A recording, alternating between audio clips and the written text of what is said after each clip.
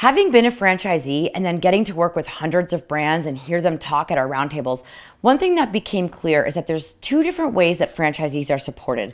There's operational support, which is typically a little more reactive, still necessary, but it's not helping the franchisee grow their business. They're stuck in the day to day and you're just fighting fires with them.